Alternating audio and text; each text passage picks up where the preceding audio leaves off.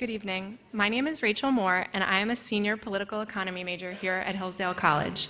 Tonight, I have the great pleasure of introducing to you Dr. Larry P. Arnn. Dr. Arnn is the 12th president of Hillsdale College, where he is also a professor of politics and history. He received his bachelor's degree from Arkansas State University and his master's and PhD in government from the Claremont Graduate School. He also studied at Worcester College, Oxford University, where he served as director of research for Sir Martin Gilbert, the official biographer of Winston Churchill. From 1985 to 2000, he served as president of the Claremont Institute for the Study of Statesmanship and Political Philosophy. He serves on several boards of directors, and he previously served on the U.S. Army War College Board of Visitors for two years, for which he earned the Department of the Army's Outstanding Civilian Service Medal. In 2015, he received the Bradley Prize from the Lynde and Harry Bradley Foundation.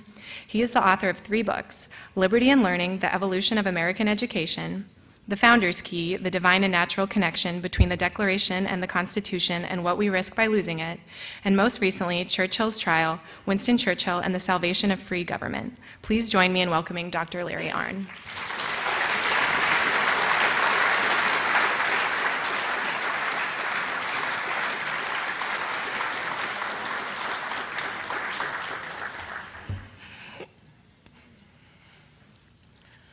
Thank you, Rachel. Who's a marvel, isn't she? Yeah. They tend to be. Um, okay, I'm going to talk the right amount of time. Now I have a reminder. So uh, I'm sorry I'm not Ed. Well, I'm not sorry I'm not Ed Rollins, but I'm sorry he's not here. Um, we still don't know uh, what happened to him. Uh, but we know he was hospitalized, and we think he's okay, but we don't have definite information about that. So remember him in your prayers. I uh, know him a little.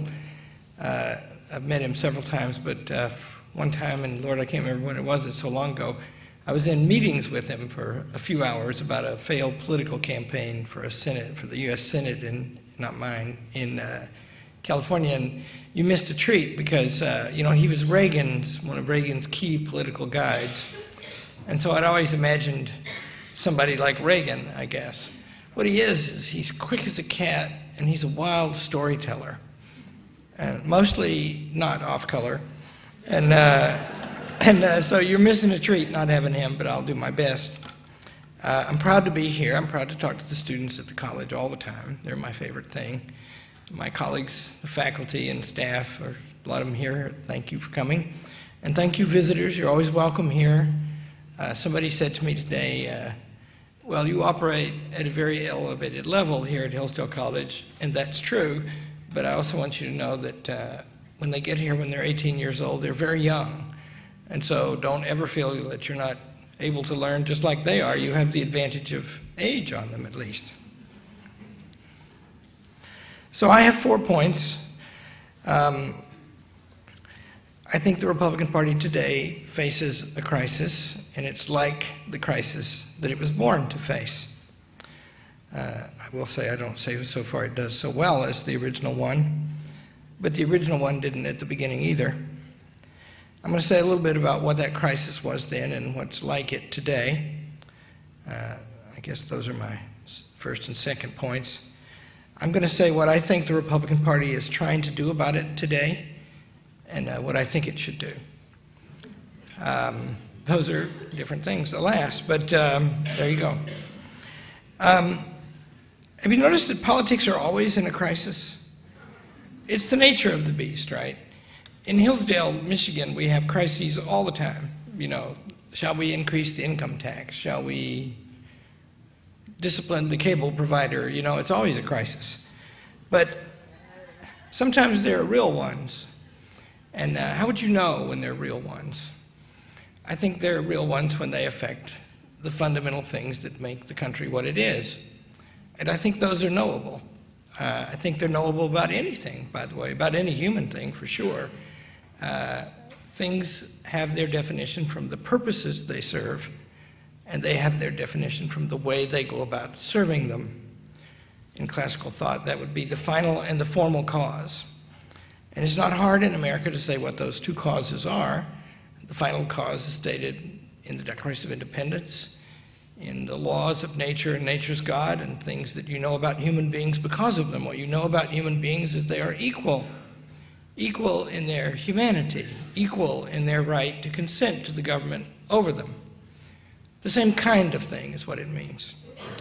And in America, we have on three occasions had big disputes about those two things. One of them was in the Revolution, one of them was in the Civil War, and I think one of them is today. Uh, you heard Charles today, an old friend of mine, Charles Kesler, who's a very wise man. And so you have some preparation for understanding what the Republican Party had to face at the beginning. It was a crisis about the final cause of the land. Uh, in the founding, among the leading founders, it is simply never to be found that they thought that human slavery was right under the terms of the Declaration of Independence. They agonized about it. Also, they reduced its scope uh, by about 60% in the th- generation that followed the Declaration of Independence. And they thought that was right.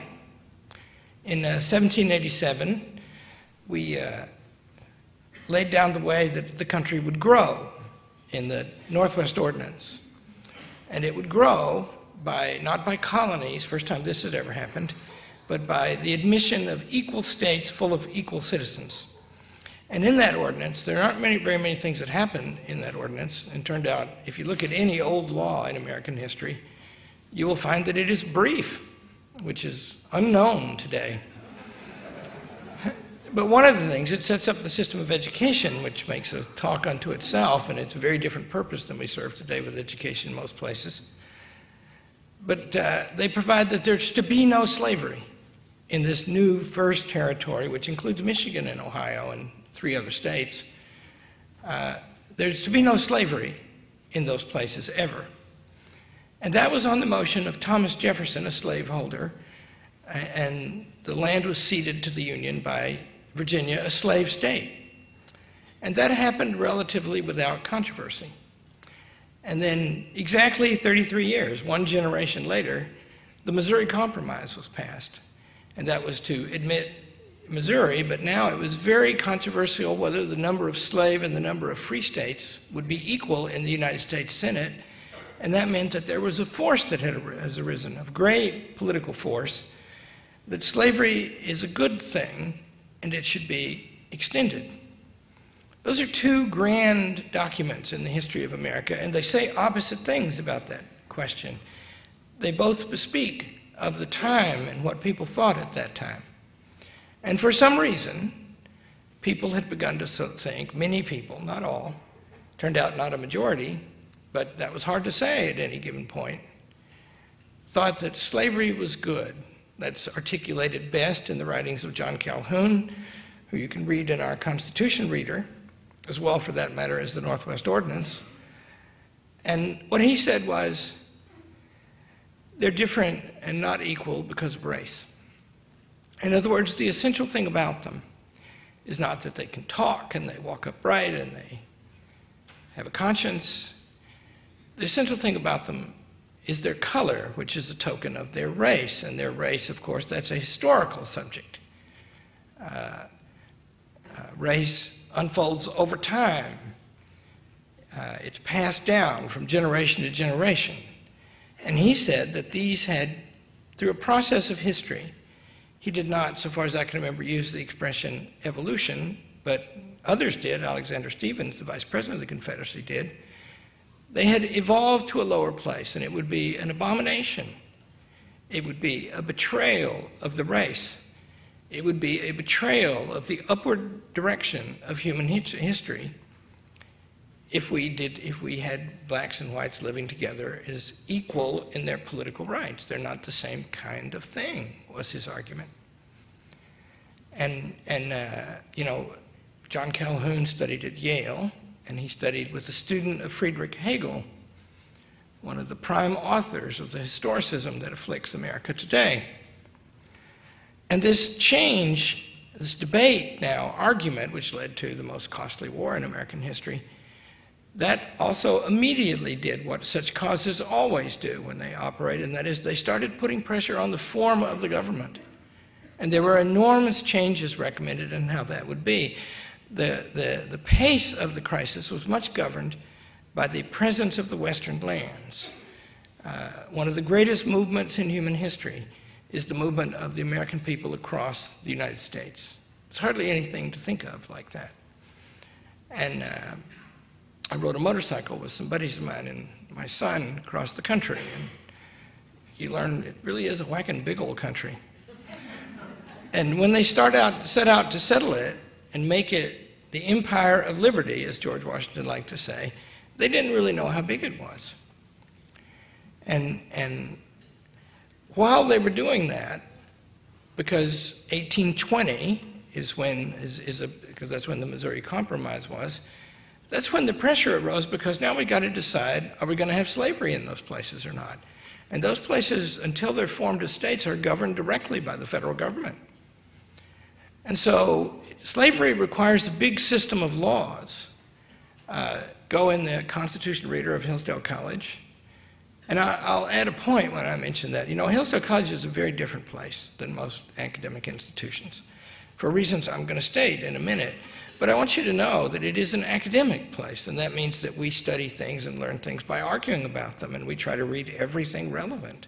So our Constitution reader, like our history readers, both of them, like the things we re read in literature, uh, often disagree with each other. Indeed, in the Constitution reader, most of the readings are written by people who don't much like the Constitution of the United States, which is sort of how the political controversies in the, in the nation's history have gone, especially in recent decades.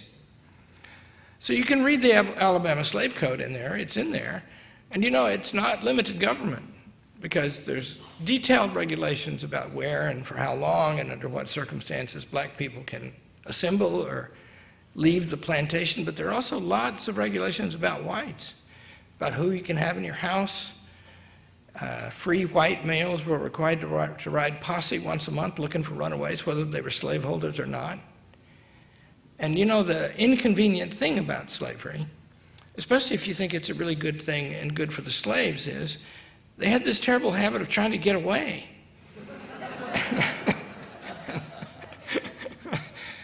you didn't see so commonly the masters running to get away from the slaves, it was the slaves trying to get away.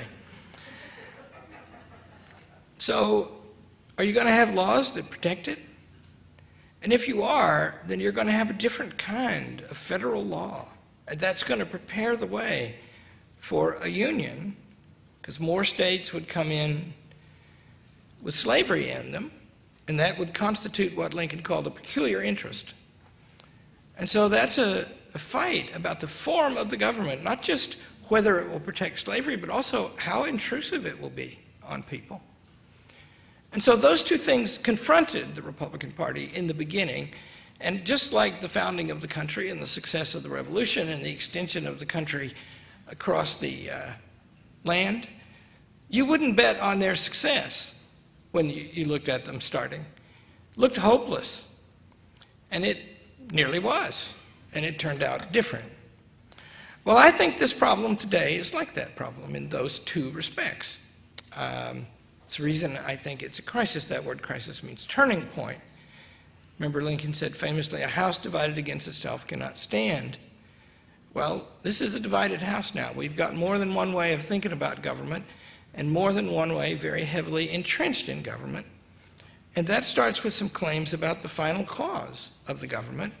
And I think that those claims that are made today in, in, in the American Academy, above all, from which this problem stems and where it gets its chief energy today, are like the claims that were made in the Confederacy, except they're not understand themselves to be on the right, trying to preserve an old order. Uh, one of the things that happened in the Confederacy is they rewrote history an awful lot. We all do that, according to the political passions of the day. We try not to do that at Hillsdale College. That's why it's hard to be an academic. But they did that quite a bit, and they said they told a new story about America. And the story was the Declaration of Independence was never meant to be very important. And this principle of equality is not what the country was all about. It was all about something else. It was about us ruling our local societies however we might please. And so today, what is the story? The story today is not on the right trying to preserve an old order. But it's kind of like it in other respects because what it does is it substitutes for this idea of nature. the idea of history or change, like that idea in John Calhoun's account of the inferiority of the blacks. What does it mean? First of all, what does nature mean? Nature comes from a Latin word that means to grow. And you know, you plant an, you plant an acorn, and unless you intervene with modern science, which you can do, you're going to get an oak tree out of that thing. What it's trying to do is become an oak tree. And uh, once you see that it starts with that Latin word for birth, and it means the beginning and growth that produces a living thing, then it also comes to mean what the thing is when it's fully grown its essence, its meaning. The oak tree is superior to the acorn because it's what the acorn is trying to produce. Uh, and it can't mean what it's like when it decays. Living things all decay. And so it's not just old, it's not just age. In fact, at the end of the age, they're less like themselves. In fact, at the end, living things turn into dust. All of them do. It's like what it's like when it reaches its excellence. So the nature is the essence of a thing. And so when we say we have our rights in nature, it means we have them from what we are. Look at us. You can see. How do we act? What do we like? We're human, right? In some ways, that's a kind of pitiful thing to be. Compare it to, imagine, to, to what you imagine an angel to be. But if you're like me and my wife, you take enormous pleasure from the cavorting of dogs. And we have the worst dogs in Hillsdale County. And the thing is, they just always act like dogs. It's just the coolest thing you ever saw. But they're dogs, you know? And uh, one time I said uh, to Penny, because they stare at you, you know, and they and Penny thinks they're trying to put telepathic signals into her mind. and I said, I think that he's quivering on the threshold of understanding. And Penny said, Penny replied, Betty doesn't cross it. History is something different. What if you think, a plausible thing to think, and this is the argument, that all of us would think radically differently in this room if we had grown up in Rome? Or in Sparta versus Athens, two things that lived at the same time. Culture matters so much, doesn't it? That word culture is also cognate with a word that means to grow. So maybe we're not really just a nature blessed with understanding and capable of reading a book and see what it means no matter when that book was written. Maybe what we are is a product of our experiences. And it does seem that the experiences are very powerful, aren't they? And in historicism, what we think is they're all powerful. We even think, writes John Dewey, and, and remember, all of this is related to the thought, for example, of Karl Marx, who was a kind of a popularizer of Hegel, and he turned it into a political agenda. You can estimate what's going on in the economy, and you can see how the revolution is going to go. Well, if we're all products of our history, that's kind of despairing, isn't it? Because it means that this argument that I'm making, and whatever you make of this argument, this argument is just produced by the circumstances, my circumstances, and the circumstances of the people who taught me. We don't have any independence from the facts we confront in life.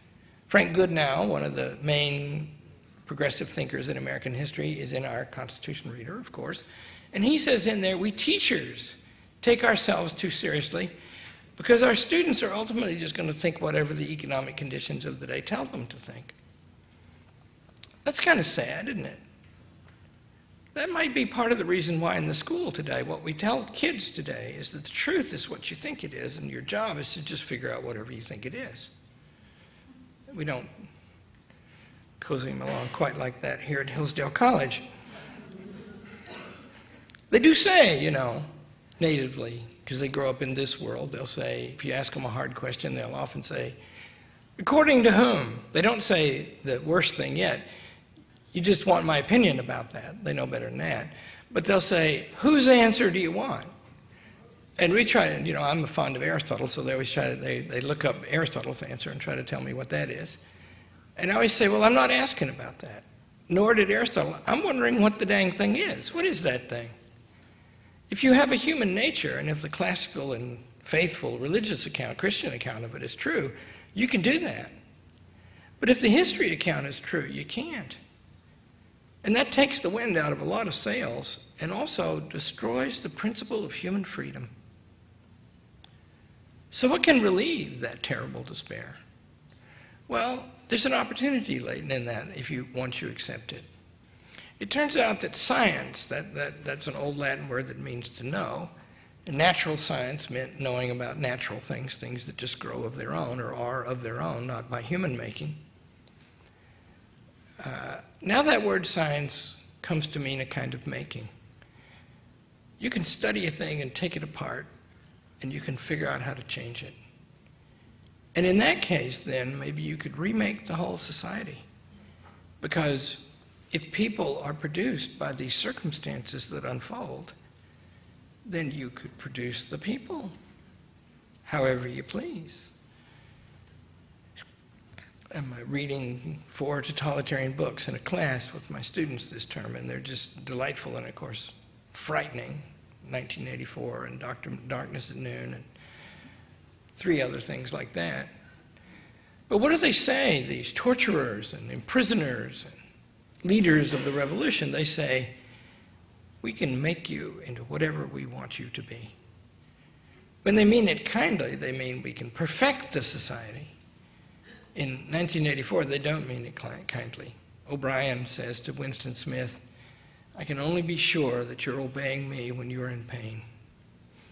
The rest of the time, you might just be doing what you want, we can't have that. Doesn't necessarily have to be kindly, because, by the way, what would be the dignity of kindness as against unkindness, according to these principles? Well, the American progressives were Americans, and they had a bright outlook on the world. They thought we can really just fix everything if we just apply scientific administration to the government. And this Constitution is kind of in the way, you know. And uh, because it's all these checks and balances, that just messes up everything, right? Because we've got to get ourselves an administration. That's a big word. Uh, in, the, in the Constitution reader, you'll see in the progressive section, the word administration is often italicized in their writings.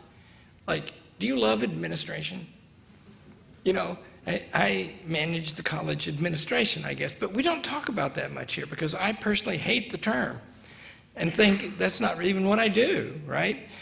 I've got to take care of the business of the college, but the college is a teaching place, and that's what it's supposed to be about. So, but administration is a name to conjure with with these people, and they even like the term bureaucracy. And so, the, not only does the Constitution have to change, that has to change because the final cause has changed, right? If it's true that change is the only real fact in nature, then the only freedom we could have would be to gain control of the process of change. And so, one of the features of that, and this is visible. I mean, if you go to the National Mall, what's it like? Have you ever been there? It's just the greatest place, right? And it was laid out by the founders themselves, three of them, and, a, and an architect, a French architect. And in the hub, the hub of the shape that they design is the Capitol, the heart of the nation's common political activity. And the states, the big avenues are named for states, and they come out like spokes. So it's a whacking big old wheel. And it won't work unless the hub and the spokes are connected and in their rightful place. And then it's also pure. It's built like Roman architecture or Greek architecture on purpose, deliberately.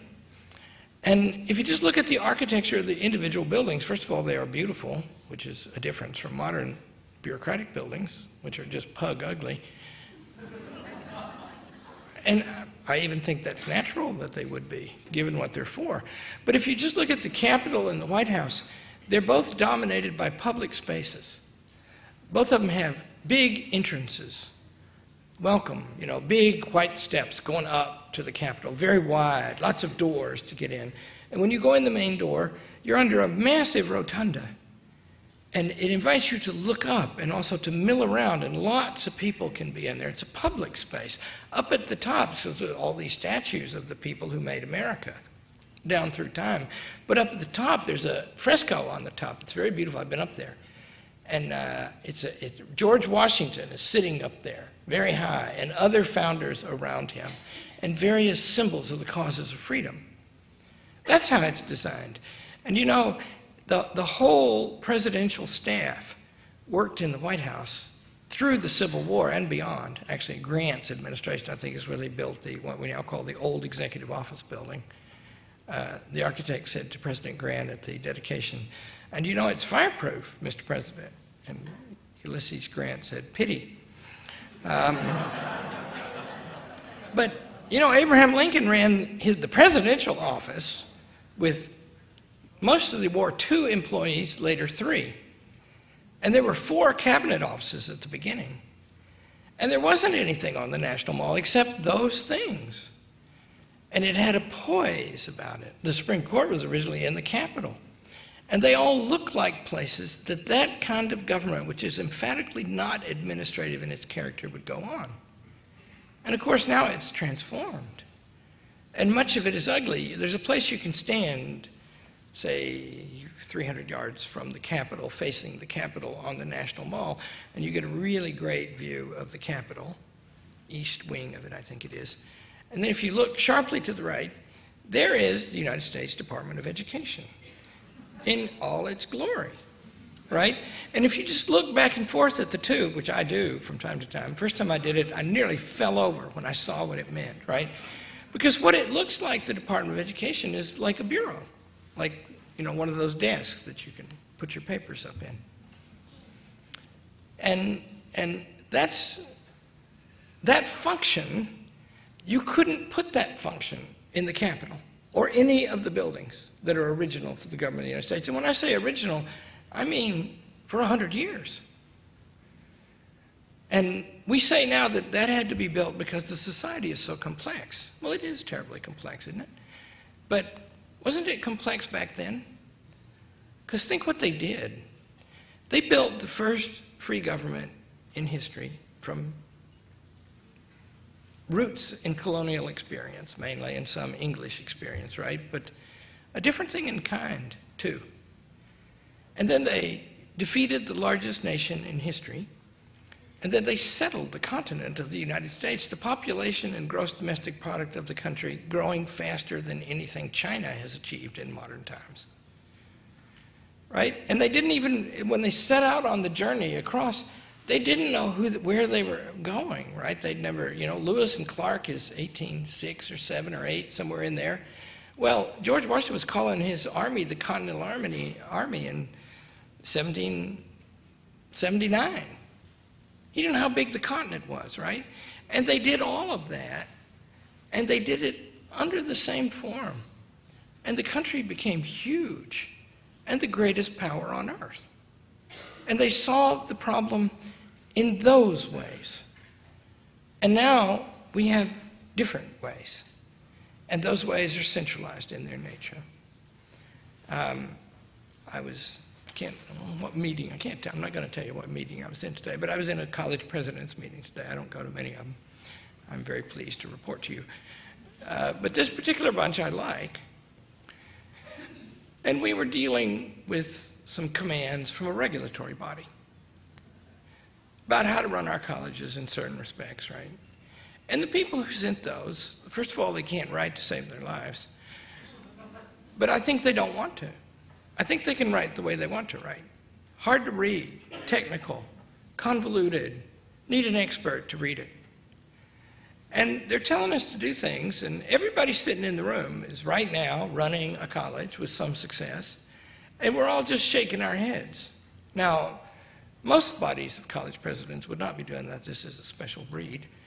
But I, I said at one point, you know, shall we sign this thing? Right? You know, it's each, uh, up to each one of us to sign it or not sign it. It's a pledge to do a certain thing that's very politically correct.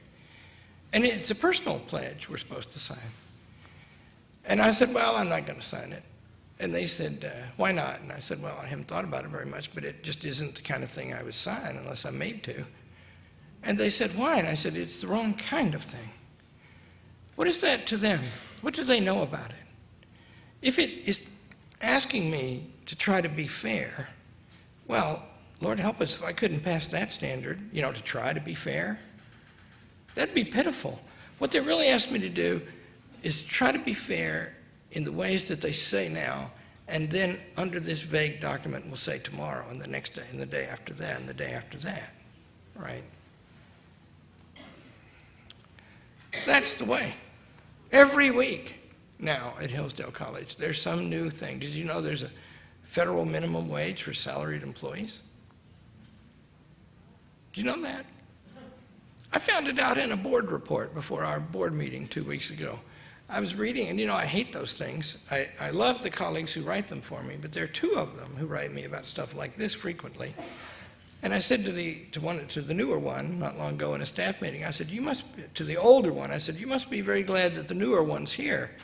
And they both laughed out loud, and the and the uh, newer one said, "Yeah, different messenger to shoot." it's crazy, right? And it's constant, all the time. I got a thing on a former athletic conference we were in one time where we were berated to go and check right now and do not let the morning pass without checking about the 25% of our young women who are being raped or assaulted.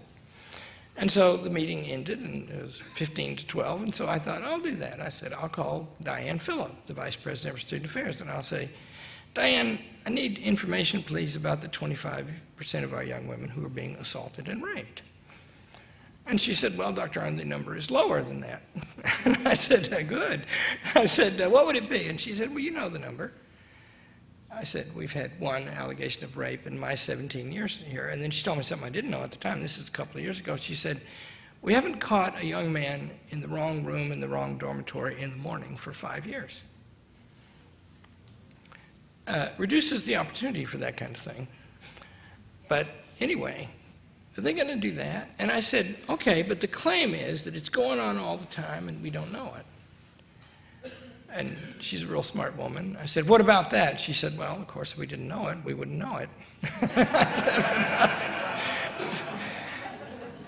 but I said, uh, what do you think? She said, well, we have an RA living on every wing and every floor of every dormitory, and we meet with them every week and we have a culture here, if the students do something wrong, we're not trying to hurt them, and we know that.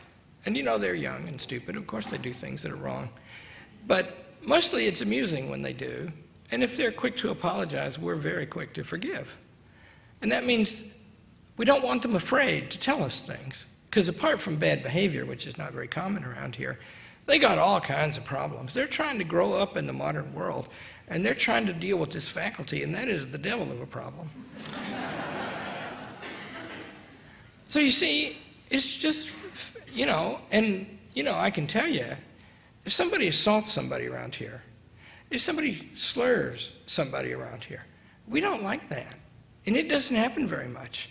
And one of the reasons it doesn't is everybody's committed not to do that before they come here. Because you can't live like that if you're going to learn together. What about that spirit?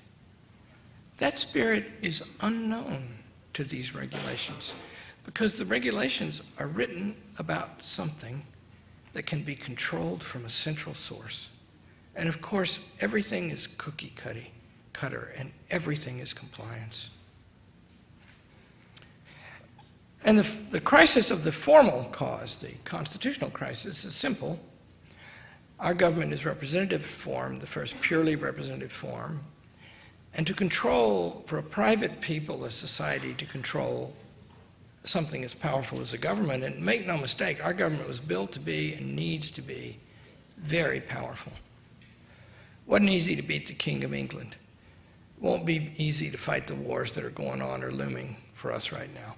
Not easy to protect the persons and property of a great nation. Needs strength. So how are you going to delegate that strength and yet keep it from getting out of hand? And the Constitution of the United States is the greatest answer to that question that's ever been devised. And so the point is, if it breaks down, if the government gets larger than the people, and in economic terms, it is larger than the society, the private society right now, as we speak, if you count the regulatory cost. And here's another thing. What they're doing in all those new ugly buildings in Washington, D.C., is they're making laws. And in addition, they're enforcing those laws in the same agency. And when cases arise under those laws, they're adjudicating those laws. And so inside each agency, there is no separation of powers. And that means when you hear from one of them, you should be afraid. Somebody working there has already made a, a decision about you. And who do you appeal to? The poor Congress. You know, how many people hate Congress? You know, if there's 350 million people, 351 million of them hate Congress. and they're in a pitiful shape. And the Republican Party, to speak of the Republican Party today, is controlling Congress right now. And what would they have to do to get their grips on this thing? There are two tools available to them since this was set up in a grievous and terrible mistake over 60 years in the past. Because remember, what's happened here is the Congress and President have delegated their authority to these independent agencies who are tenured, the staff members, and who are mostly governed by boards that rotate all the time. And they're sealed off from politics, and to seal them off from politics is to seal them off from us. And so the only way you can fix it is if you can pass a law through both houses of Congress and get the president to sign it. That's the first way. And of course, for the first time in American history, in the last two generations, government is typically divided. And so when one of those things gets in, it's very hard to get it out. That, by that means. The second means is the budget. Because it was true, for example, in the Reagan administration, which Charles was talking about today, it was true that the Congress was very tough. And so I had friends who worked in the Reagan administration, and they would have to go testify on Congress, and they feared that experience. And if Congress didn't like what they did, they would pass an appropriation bill that deleted their salary from the agency, and they fired them. Well, we're not doing that anymore, right? We're not passing budgets and appropriation bills anymore. Now we do continuing resolutions, and we can't reach agreement about those things. Now, one of the things the Republican Party is doing today is they're trying to be a lot more serious about passing appropriations bills. And they still haven't got it done. And there's a lot of reasons why they don't. One of them is just the pressure of the vast expenditure and the interest gathered around it are huge. But a second one is if you pass an appropriations bill, it's a big compromise bill, and there's going to be a whole bunch of ugly stuff in it. And the individual members, their congressional rating by, if they're liberal, by the liberals, and if they're conservative, by the conservatives, will get hurt. And so they're, they're, they're weak now. And then add to that, everybody like me, I, I, I bet it's true that the faculty of Hillsdale College knows everybody in the country who's an academic who would more or less agree with what I'm saying tonight. And so that means that the overwhelming majority of authoritative opinion is against them. And they're outnumbered.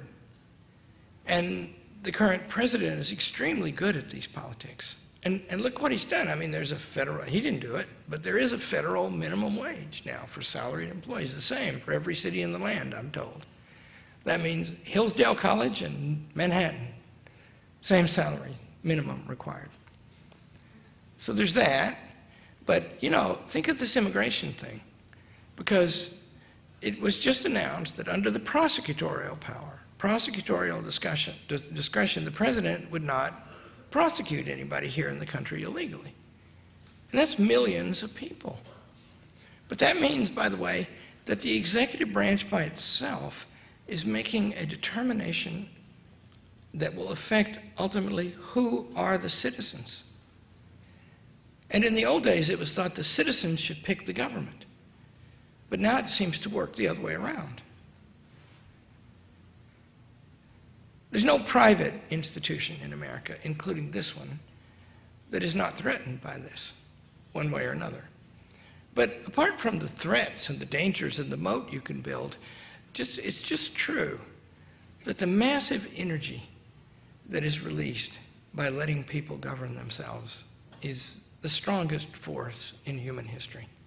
Because God made us that way, right? You want to know why the college works the way it does? It works. It's a good college. One of the reasons is everybody here wants to do it. All these little kids, you know, who show up here and leave adults, or as I like to say, almost human beings. They make a commitment about that before they come, and they're warned, right? And so what we do is we end up with a bunch of people who are foolish, right? They want to, you know, you tell a whole, you tell, uh, you know, our population is 18-year-old kids who could go to college just about wherever they want. And you tell them, if you come here, you're really going to have to suffer. And they go, yeah, let's do that. I want that, right? You know? it's foolish, but it's great.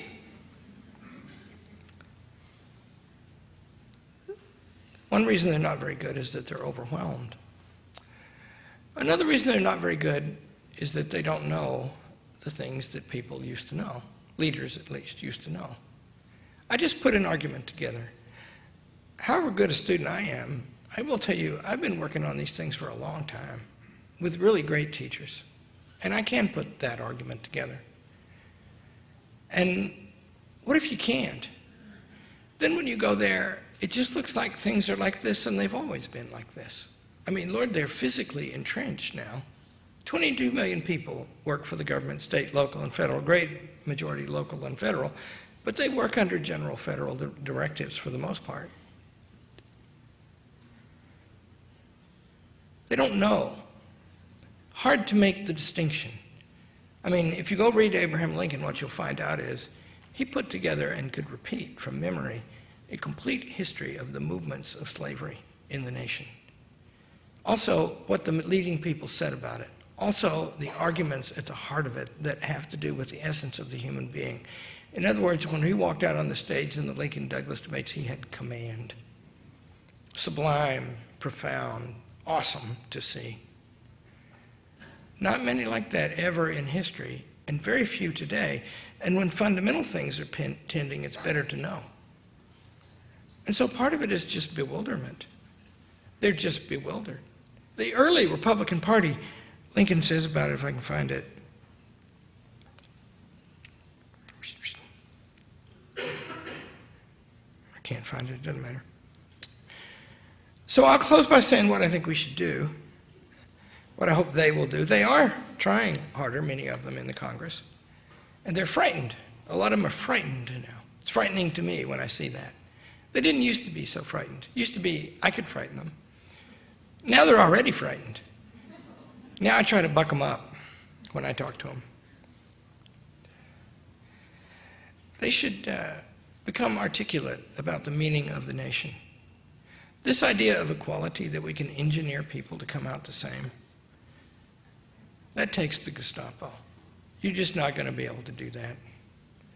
You been to any classes here at Hillsdale College? Everybody's smart. They don't all make the same grades. It's just, they can do different things, right? And some of them can do them awesome well. All of them can do them well. But you can't make them the same. It won't work. They're not made that way. You can force them to seem more the same. And so we should repudiate that understanding of equality. We should think that equality is a natural fact, not a thing to be engineered. The second thing is we should defend the form of the government. We should become articulate about that. We should think that the country is supposed to be governed under a set of rules that limit the government and us. A third thing we should do is we should emphasize citizenship. That's happening right now in politics on a big scale. In other words, the big fact that is relevant to whether you get to participate in the governing of America is whether or not you are a citizen. It's so bad now, by the way, and we move so fast toward international government. And have you noticed, by the way, that uh, these principles that I named of progressivism, they're not specifically American in any way. Our Declaration of Independence is universal, but it, it establishes the universal right to consent of the governed. You make it your own by giving it your consent. There isn't any principle in these progressivism ideas to make it your own. It's everybody's right. And since it's, it's an expertise that gives title to managing the society toward the future, really experts are sovereign. That's why to mention that somebody's not a citizen is to be accused of racism. Somebody said something about a judge being a Mexican, and everybody took that as a racial comment. Well, maybe it was meant that way, I don't know, but it is just a fact that Mexico is not a race. It took me a little while to think of that, but I, once I did, I went, oh yeah, that's right, right? you know, it, uh, we should, we should emphasize the fact that this country is for ours. And a great phrase to use is from Winston Churchill. He said one time in the House of Commons, in exasperation, and you know, he was so eloquent, so you could, you could not do worse than copy him. He said, to a labor member, he said, Do you not understand that there is no question raised in this House that can be rightly or effectively resolved by expertise? The questions of justice and freedom are the human property. All of us are entitled to them. Nobody knows more about them in principle than anybody else.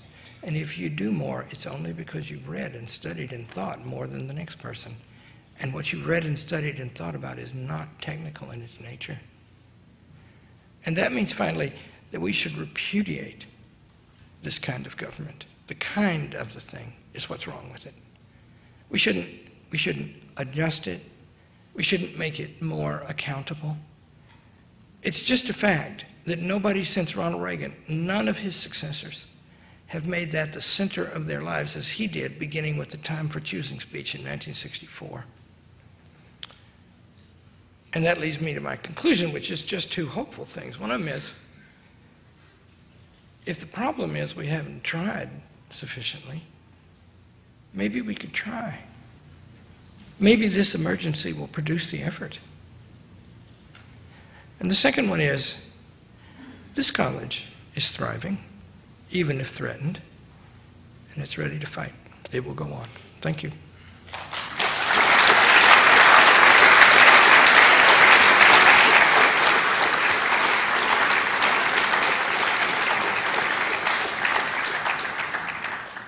We now have time for a few questions. Please stand when the microphone is brought to you.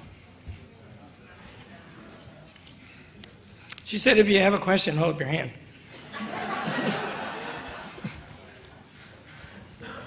Dr. Arnn, you speak a lot about what the good is. In your opinion, what is the good in relation to how a nation should be led? Mm. Uh, okay, that's good. I torture them with the question of the good. Rare chance for you to ask me back. They always try to ask me, well, what do you think it is? And I always say, I don't care what I think it is. What is it? Um, so the good of a thing, according to Aristotle, is the being of a thing, what the thing is, right? So if a thing is destroyed, you know, if the bottle, cut the bottom out of it, it's not a bottle anymore, maybe it'll make a funnel. Um, so what is the good of the nation? That's not hard to say, right? Because it, it did start, it has a birthday. And the birthday says, uh, we hold these truths to be self-evident that all men are created equal and endowed by their creator with certain inalienable rights. That to secure these rights, governments are instituted among men. Then it goes on later to say, we always forget this. They say life, liberty, and pursuit of happiness in the Declaration of Independence, and silly people, including very erudite scholars, have said that uh, by using pursuit of happiness and not happiness, they were saying each person is, is allowed to devise his own happiness. And of course, to some extent, that's true. But in the extent that you're going to act like a horse, or you're going to be a drug addict, or you're going to what, you know, the point is that's not going to make you happy because that's not what it is to be good. Two sentences later, it says that they can throw off the government and establish a new government according to such forms as to them shall be most likely to achieve their, to effect their safety and happiness. Unqualified, right? That's two sentences later.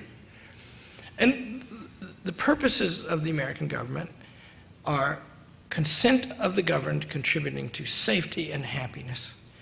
And our freedom is written in the same place. So I think. But I don't think that. I just happened to read it.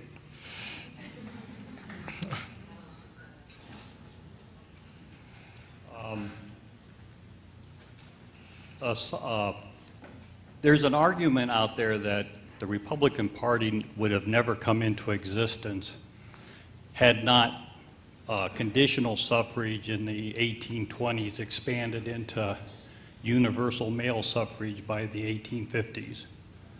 And that it was, it was universal male, white male suffrage that, you know, led to the Civil War. Um, Dr. Kesler was talking about the fact that there is one party of which we have two parties derived from. And over the years, we've expanded suffrage. And now we have a culture of very small groups of people with very vocal grievances, and we've got political parties catering to those grievances. Is it, this may seem like a dumb question, but is it possible suffrage, we have too much suffrage, and that some form of conditional suffrage may be the salvation of the republic? So you're not confusing suffrage with suffering. but, uh, yeah. So, uh, first of all, I don't think that's true about that argument about the 1850s. Um, but never mind that. Um, what the founders thought was that suffrage had to be wide enough to represent the great body of the people. Uh, there's no reason in principle, and there is reason to think, that you might uh, limit the suffrage to taxpayers. Winston Churchill proposed something like that in England. He wanted everybody to have a vote, but people who paid taxes to have two, uh, man or woman. He proposed that in the 30s. So there's good constitutional arguments about that, but that doesn't change two facts that are, in my opinion, more important. First of all, the first constitutional check is in America is that they can't do anything unless the people say they can. Right? That's the, that's the single most important reason why governments are kept from getting out of control. After that, all the problems come in about us oppressing the minority. Well, the second point would have to be that you would have to have at least a very large majority of people voting. Um, because, other than that, some minority could form a closer interest quicker than a majority could, writes Madison in the 10th Federalist. So you're going to need very wide suffrage. But then I'll add this final point. What I think today is, I say this to friends of mine in Washington these days, my fellow conservative leaders, as I'm styled sometimes. I say, first of all, do you think people like us are going to save America? People who talk for a living and have lots of education? Because we're the problem. I mean, it's true, we're a little rump in that bunch, but there ain't many of us. So, what about the fact that the common sense opinions of ordinary people are actually on some really fundamentals? They appear to be much more sound than elites. And I don't think that the driving problems in America today are coming from most people. I actually think that they're coming from highly educated people who went astray 100 years ago and more.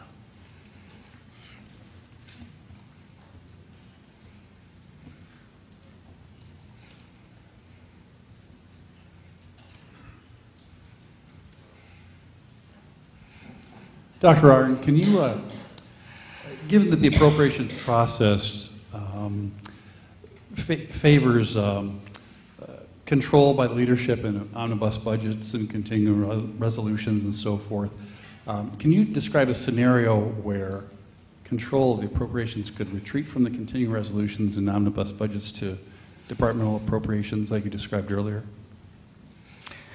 Uh, I'm going to try to, rep- that's Representative Lloyd Hauser, who uh, actually is the first car dealer to get a promotion. No, uh, to get a demotion by going into politics. Um, so your question is, is it a question about how much control the leadership should have in a legislative body? Just a scenario. Oh, how do we do it? Yeah. Well, I'm a more disciplined in the caucus fella. Uh, I think the speaker should be strong, and I think that uh, I, I you, have to remember that there's almost nothing that that you can name that would really work today because a complex of things is wrong. So one of the things that's wrong is that the, there are actually a much higher percentage of safe seats in the House than there are in the Senate. And it makes the Senate a very cowardly body, and the House is bolder. Because not many seats change hands in the House, and that's because of gerrymandering, but it's also because of the effect of the administrative state on politics. Congressmen just get a lot of moxie out of doing stuff for their constituency, getting stuff out of the bureaucracy, which is kind of one of their prime jobs now. So, especially if it were more competitive than it is, then there would be little harm in having very strong speakers because the effect of that and leadership, the effect of that would be then they would actually take a position on the grand things that matter the budget, the big issues of principle, the scope of the government. Those are the big questions that are open today, right? Because, you know, we're in danger, I think, of being overwhelmed by the government. And I don't go to any meetings myself in, in any kind of meeting, development meeting, around here, running the college, other college people outside. I don't go to anybody where, any meetings where people are not afraid to cross the government. And it's everywhere now. So if there was a party, and, and I, I, I want to say something about our part in founding the Republican Party, which is very noble. You know, the first platform of the Republican Party was the first draft or an early draft that was written in Central Hall by two guys who worked here, right? Very great people. But I also want to remind everybody that before they did that, they were Whigs. And, you know, a lot of the early documents and the story of the college you can find in a local publication called the Hillsdale Whig Standard, right? So, in other words, we do have a history of forming parties. We also have a history of leaving them. so, so I, you know, I, I'm a member of the Republican Party, but I want it to be good, according to that definition right there. And if something comes along that's better, it's very hard to replace a political party. I would like to see it maneuvered into a place where it's got to take a bunch of really strong positions. And so I agree, it should be stronger leadership, probably, if that's what you, you think. Yeah. We have time for one more question.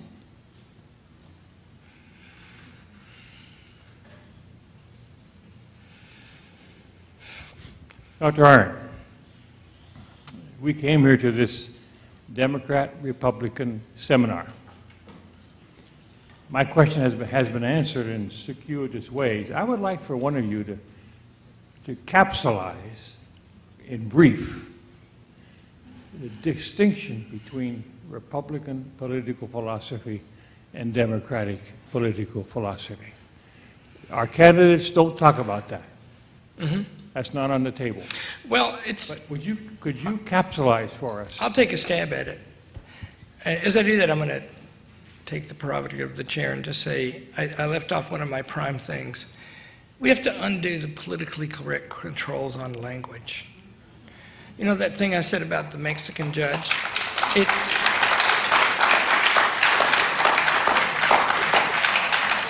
I think one of the reasons people believe that guy is because he's prepared to say stuff like that. And uh, I don't even know if he does it artfully or not, but and it causes outrage, and sometimes I really like it. Um, so, what are the two? So, first of all, it's a difficult thing to do because um, the parties are not coherent and candid about what they stand for in ways that they had been in the past when they were great. So they give confused, and, and of course, everything they say about themselves is designed to attract the voters.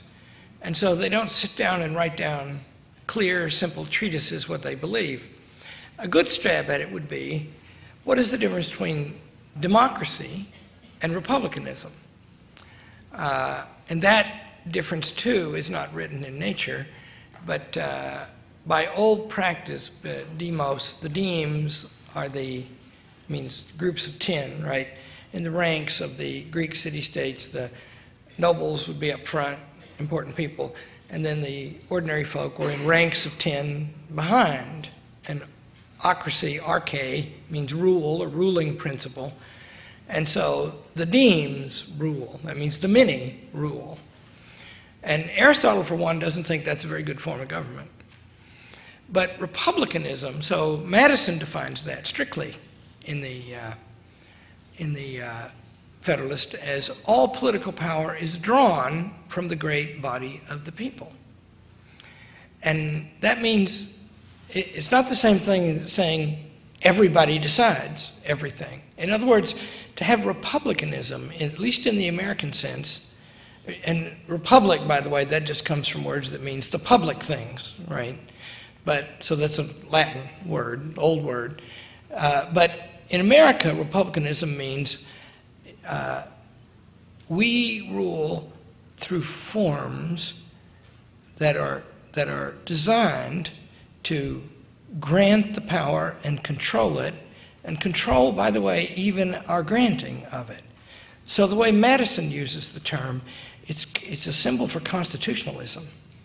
Because see, if you have a tyranny, one person rules however, whatever he wants, right? You don't necessarily have, a, have to have a constitution, and if you do, it's a fraud. If you're going to have rule mixed up among a lot of people, you're going to have to have some big rules, a constitution about how they do that. So I think that in its root, in America, as it was used in early practice and more or less consistently since, the Republicans are the people who think that the people should rule but through a constitution. And democracy is a term, and was used as a term of aspersion a lot in the founding, about the idea that just all the people would vote and meet and, and, and rule, because the argument was, and I, I agree with the argument, that will go wrong consistently. Does that help? No. Democratic uh, corollary. Well, I, I, I, I, I actually spoke tonight about what I think is the driving idea behind the Democratic Party. I'll restate it, I'm happy to. Uh, and I'll try to put, you know, the best face on it I can, because it is a kind of a very attractive and magical idea. What if it's true that you could use the tools of science to eliminate all the evils in society? Nobody wants to die of cancer at all. And nobody wants to die today. What if you could make everybody live a really long time and be terribly healthy to the end? Right? What if nobody wants somebody to suffer in squalor and poverty because their parents were sick, whereas somebody else is a wastrel all his life and born to wealth and nobility and never does a bit of public uh, uh, serious work? Nobody wants that. That's unjust. That's bad, right? So, what if by scientific application of management and other tools, you could eliminate all those terrible things? What if you could do that, right? And the reason we haven't been able to do it, the reason we can do it now, says the founders of the modern Democratic Party. I think it's a fact that this is true. What they said was, we have invented human beings, scholars, others, have invented whole new ways of approaching the problem of governance. It should be neutral, tenured, scientific, and it should proceed by uniform rules. And those rules should apply everybody, and this is Woodrow Wilson talking, so as to marry or wed the interest of the individual with the state so we won't be so fractious and divided anymore. That was their dream, see? And I'll tell you what I think stands directly against that. Uh, it, uh, it's nature. Madison says, we need laws because we're not angels, but we need limits on the laws because the people who govern are also not angels. If it had pleased God to govern us directly, you know, maybe in some nobler way than he governs a dog. Because dogs always act like dogs, right? At least ours do. And cats always act like cats, and I'll just tell you, I think that's too bad. But, but people have discretion over things, right? And because they do, but because they're fallen, and you can understand that in the Christian sense, which is a profound sense, or you can understand it for political purposes, these two things are parallel. You can say that we are fallen because we are necessitous and because we face our own deaths and feel our own pains and enjoy our own pleasures. And so, if you're going to have a, a being like that, you're going to have the problem of granting and controlling the granting of power. And so, at the bottom, forget what the argument is between the Democrats and the Republicans. They make lots of arguments. There's an argument between the founding of the United States of America and the thing we have today and I think I've accurately stated its terms.